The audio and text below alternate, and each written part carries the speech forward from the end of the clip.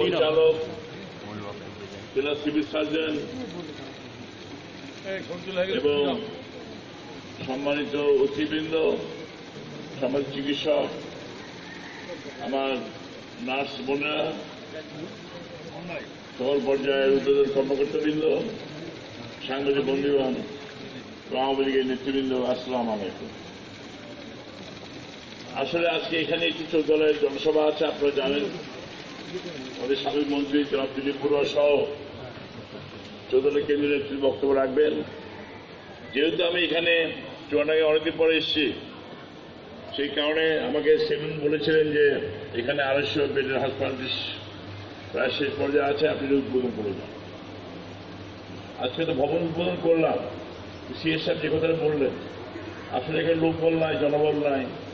এখানে যন্ত্রপাতি কেবল বসবে অনেক সুযোগ সুবিধা এখনও বঞ্চিত হয়ে আছে।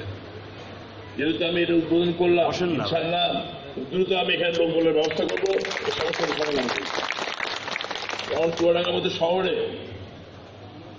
যার অত্যন্ত সন্নিকটে, সে ঐতিহাসিক আম্র কারণে মুজিবনগরে মেহেরপুরে যাতে জনকের নির্দেশনায় যে মুজিবনগর সরকার গঠিত হয়েছিল। শহীদ নজরুল ইসলাম তাজুল আহমেদ এবং মোসর কামিল জামার নেতৃত্বে সে ঐতিহাসিক স্থান অত্যন্ত সন্নিকটে এই হাসপাতাল নিজেও কিছুটা হয় নাকি? হ্যাঁ? লোক বললে এখানে কাজ হচ্ছে।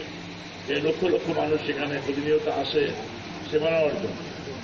যে কথা চিকিৎসা বলেছেন মাননীয় প্রধানমন্ত্রীর নেতৃত্বে আমরা স্বাস্থ্যসেবা ক্ষেত্রে আজকে অনেক অর্জন করেছি। ব্রিটিশ জার্নালও বলেছে ওদের আগে ল্যান্ডস্লাইড বলেছে যে Bangladesh primary health care EPI টিকাদান কর্মসূচিতে ভারত থেকে আমরা এগিয়ে গেছি। পাকিস্তান থেকে অনেক এগিয়ে গেছি। একমাত্র শ্রীলঙ্কা ছাড়া দক্ষিণ এশিয়া ভারত এগিয়ে আছে, সব দেশ থেকে এগিয়ে আছে ইনশাল্লাহ হেলথ কেয়ারে এই primary health care health community clinic Sheikh Hasina brain child কিন্তু সন্তানের মধ্যে, যেখানে গ্রামের মেয়েরা, আমার বোনেরা, সমস্ত গরিব মানুষ আছে গ্রামের মধ্যে চিকিৎসা সেবা এই হেলথ কমিউনিটি ক্লিনিকের মাধ্যমে। যেহেতু জনসভা আছে বেশি বক্তব্য চাই না। একটি কথা বলতে চাই। এই যে অগ্রগতি, এই যে ধারাবাহিক উন্নয়ন কম হয়েছে কেন? শেখ হাসিনা লাগাতার ভাবে ধারাবাহিকভাবে নির্বাচন সরকার প্রধানমন্ত্রী হিসাবে বছর দেশ পরিচালনা করছেন বলেই আমরা এগিয়ে নিতে পারছি। এটা ছোট্ট একটি হাসপাতাল ছিল এই চুয়াডাঙ্গা শহরে, আজকে দেখেন নেত্রী নির্দেশনায় সুরম্য একটি হাসপাতাল ভবন হয়েছে এখানে।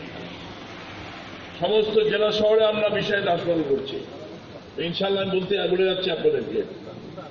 চেষ্টা করব দ্রুত সময়ের মধ্যে আমি এখানে সমস্ত চিকিৎসা দেওয়ার জন্য আইসবের হাসপাতালের ব্যবস্থা আমি করব ইনশাল্লাহ আমরা নির্বাচনের আগে চিকিৎসক দিচ্ছি প্রায় সাত হাজার। আপনারা নিজেরাও জানেন দশ হাজার নার্স দিয়েছি আমি মাত্র আগে। এবং দুদিন পরে আরও পাঁচ হাজার নার্স দেওয়া হবে ইনশাল্লাহ ট্রেন নার্স দেওয়া হবে সারা বাংলাদেশকে আমাদের প্রদান করার জন্য অর্থাৎ সব ক্ষেত্রে আমরা চেষ্টা করে যাচ্ছি সেখানে নির্দেশনায়। স্বাস্থ্য মানুষের ঘরে ঘরে পৌঁছে দেওয়ার জন্য। এটা মৌলিক অধিকার মানুষের দাবি এটা। সাধারণ মানুষ এখানে এই দাবি করে। এখানে বিএমএ নেতৃবৃন্দ আসছে সাহেবের নেতৃবৃন্দ আছে। সবাই চিকিৎসক আছে। আমাদের সবচেয়ে টার্গেট ছিল গ্রামে থেকে যেন চিকিৎসকের সেবা দিতে পারে। এই কাজটি তো সম্পূর্ণ করতে পারলাম না এখন পর্যন্ত আমি তারপরে আমি বিশ্বাস করি। গ্রামে যে স্বাস্থ্য বুঝতে দেওয়ার জন্য আমরা চিকিৎসকের কাজ করি। আর সবচেয়ে বড় কথা হলো আমরা এখানে পলিটিক্যাল একটা স্টেবল গভর্নমেন্টের মধ্যে আছি। রাজনৈতিক আছে বলে এখন যেমন হরতাল নাই অবরোধ নাই কোনো বিশৃঙ্খলা নাই জঙ্গি নাই জ্বালা পোড়া নাই সেই জন্য সেক্ষেত্রে আজকে দেশকে এগিয়ে নিতে পারছে। তবে আপনাদের অনুরোধ সাংবাদিক বন্ধুরা এখানে আছেন নির্বাচন সামনে আসছে। নির্বাচন বিকল্প হচ্ছে নির্বাচন। নির্বাচন বিকল্প হতে পারে না কোনো অবৈধ শাসন মার্শাল দেশ চলতে পারে না। ইলেকট্রিক গভর্নমেন্ট আছে বলে দেশে এগিয়ে যাচ্ছে। সর্বক্ষেত্রে এগিয়ে যাচ্ছে। জঙ্গি দমন করেছি আমরা। কিন্তু সমাধান করেছি। কেমন শাস্তি পৌঁছে দিচ্ছি? যেহেতু একটি স্ত্রী সরকার দেশ পরিচালনা করছে। ওদের ভুল কিছু থাকতে পারে। গভর্নমেন্ট ভুল করতেই পারে। একটা ব্যক্তি ভুল করতে পারে এমপি হতে পারে মন্ত্রীও ভুল করতে পারে।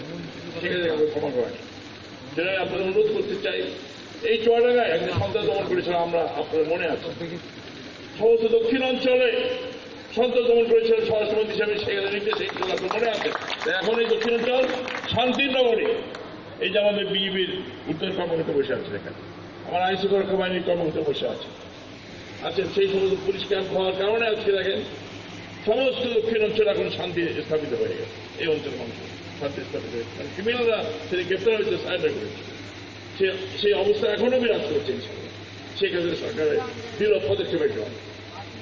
আমি বলতে চাই, আগামী নির্বাচন সামনে আসছে। নির্বাচন করার অধিকার সবারই আছে। নির্বাচনে ভোট দেওয়ার সবারই অধিকার আছে। কাউকে ভোট দিতে, বঞ্চিত করবেন না দয়া করে। বিএনপি আমার জোটকে বলব আমি। তো জোট হয়েছে ভালো কথা। একশো দল না জোট করার কোনো অসুবিধা নাই। কিন্তু আমি বলতে চাই, বিস্মিত হয়ে যাবে দুঃখিত হই। যে ডক্টর কামাল হোসেন সাহেব বঙ্গবন্ধু আজীবনের স্নেহবাদন ছিলেন। ডক্টর কামাল হোসেনকে ডক্টর কামাল হোসেন বানিয়েছে কে? আওয়ামী লীগ বানিয়েছে, বঙ্গবন্ধু বানিয়েছে। তিনি আজকে বঙ্গবন্ধু স্নেহ পেয়েছে মন্ত্রী হয়েছে এমপি হয়েছে বিরাপুর বঙ্গবন্ধুর জন্য সে কি কারণে কোন অভিসন্ধি তিনি আজকে খুনের সঙ্গে হাত মিলিয়েছে বলেন তার বঙ্গবন্ধুকে হত্যা করে পৃষ্ঠপোষক করেছিল বঙ্গবন্ধু হত্যাকারী আশ্রয় দিয়েছিল রাজনীতি বানিয়েছিল সেই বিএনপি জামাতের সঙ্গে হাত মিলিয়েছে কোন কারণে ডক্টর কামাল সাহেব লজ্জা হয় আমার ঘৃণা হয় কামাল হোসেন শিক্ষিত মানুষ শেষ বয়সে অতিপুরে মনোকাঙ্ক্ষা কেন ওই সঙ্গে হাত এর বিচার হিসেবে বাংলার জনগণ আগামী নির্বাচনে করবে ভোট দিয়ে করবে সবাই ধন্যবাদ জানাই। বলব, সবাই নির্বাচনে আসেন অনুমতি করে লাভ হবে না দফা দিয়ে কিছু হবে না। নির্বাচন এসে গেছে। খুব তাড়াতাড়ি হয়তো হবে। এখন তো নির্বাচনের একটাই আন্দোলন, নির্বাচন আন্দোলন। জনগণের ভোট দেওয়ার আন্দোলন। থেকে বঞ্চিত চেষ্টা করবেন না, ফল ভালো হবে না। জনগণ ইনশাল্লাহ উৎসব করে উৎসব করে ইনশাল্লাহ জনগণ ভোট দেবে এবার ইনশাল্লাহ যাকে ইচ্ছে তাকে ভোট দেবে জনগণ ভোট দেবে। তো শেখ হাসিনা ইনশাল্লাহ বিজয়ী হবে আল্লাহ রহমে তো দলে বিজয়ী হবে ইনশাল্লাহ। আমার ভাই সেদিন অত্যন্ত পরিশ্রম করে, অত্যন্ত কর্মঠ একজন তরুণ সংসদ। আর তরুণ নয়, বয়স হয়ে গেছে। এই জন্য বলতে চাই, তার নেতৃত্বে কাজ করে যাচ্ছেন আপনারা আমি দোয়া করে তাকে আরও কাজ করে যাক। আমার এখানে ছোট আদালত আছে, আমার সেক্রেটারির সাথে সেক্রেটারি না আদালত আছে অনেক আমার এমপিরা নেতৃত্ব এখানে আছেন তো সবাইকে দোয়া করে একটু বলব আমার পরিবারের মতো। এক পরিবারে অনেক প্রতিনিধি থাকতে পারে এক পরিবারে অনেক সময় ঝড়িতে হতে পারে কিন্তু আওয়ামী লীগ পরিবার হচ্ছে সেক্ষেত্রে পরিবার হচ্ছে এক- একমাত্র এক পরিবার এই পরিবার একসঙ্গে আসবে তাই আপনারা অনুরোধ করছি আপনাদের মিটিং আপনারা আসবেন আমি একটা বলতে পারি আপনার সমাবেশে বলতে পারি ইনশাল্লাহ আমার যত সুযোগ সমাজ যত সুযোগ আছে ইনশাল্লাহ আপনার হাসপাতালে পূর্ণাঙ্গ হাসপাতালের ব্যবস্থা আমি করব। আপনার আশা আমি পূরণ করব ইনশাল্লাহ আপনার সবাইকে ধন্যবাদ। খুদা হাফেজ। জয় বাংলা। জয় বঙ্গবন্ধু।